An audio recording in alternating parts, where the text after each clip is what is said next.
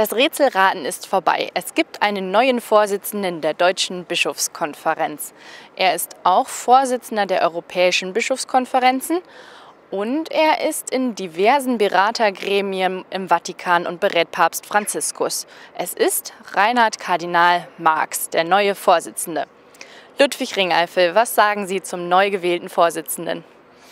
Ja, mit, mit dieser Wahl haben sich die Bischöfe entschieden, äh, einen starken Mann an die Spitze zu wählen. Er ist ja nicht nur von der Statur her ein starker Mann, sondern auch äh, vom Durchsetzungsvermögen her einer, der es drauf hat. Er ist ein Macher, er ist ein äh, machtbewusster Kardinal.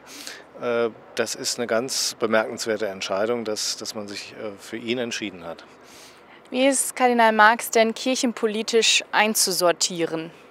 Er war früher, als er Bischof in Trier war, galt er eher als konservativ, hat sich dann äh, in München ein bisschen gewandelt äh, und jetzt gerade im letzten Jahr, also seitdem Papst Franziskus in Rom regiert, hat er sich eher so als äh, nachdenklichen, mehr seelsorgerischen Oberhirten dargestellt. Also er hat auch eine Entwicklung durchgemacht, das sagt er auch so und sagt, ich denke heute ein bisschen anders als noch vor ein paar Jahren.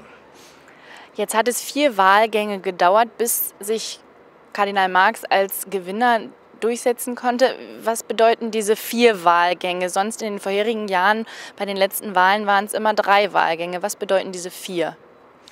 Das bedeutet zunächst mal, dass er keine Zweidrittelmehrheit äh, bekommen hat in den ersten Wahlgängen. Das lag daran, dass es eben ein ziemlich breites Feld von Kandidaten gab. Es gab ja viele Namen, die gehandelt wurden und einige von denen haben offenbar auch äh, eine gewisse Anzahl von Stimmen gehabt. Und dann hat das eben ein bisschen gedauert, bis sich das so rausmändelte.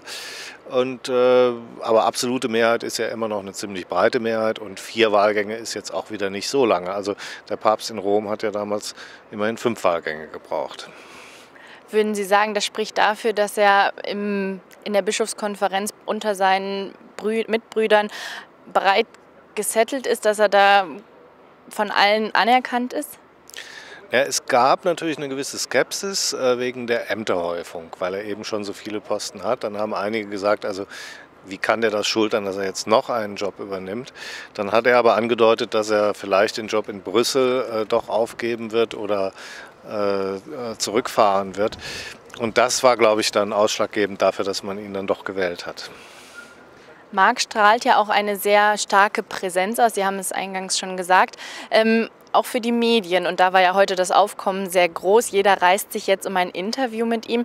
Was, was bedeutet diese Persona Kardinal Marx, der ja gut sprechen kann, der frei sprechen kann, aber dennoch sehr zögerlich ist in Interviews? Was bedeutet das für die Medienlandschaft und die Präsenz der katholischen Kirche? Für die äh, Medienpräsenz der katholischen Kirche ist das natürlich ein Vorteil, dass er so sprechfähig ist, dass er einfach äh, rhetorisch äh, sehr begabt ist, gut rüberkommt, auch in Talkshows, in Vorträgen, überall. Also das ist ein großer Vorteil und das hat, glaube ich, auch eine Rolle gespielt bei dieser Wahl. Danke für das Interview, Ludwig Ringeifel. Die gesamte Pressekonferenz mit dem frisch gewählten Reinhard Marx können Sie auch auf katholisch.de in der Mediathek noch weiterhin anschauen.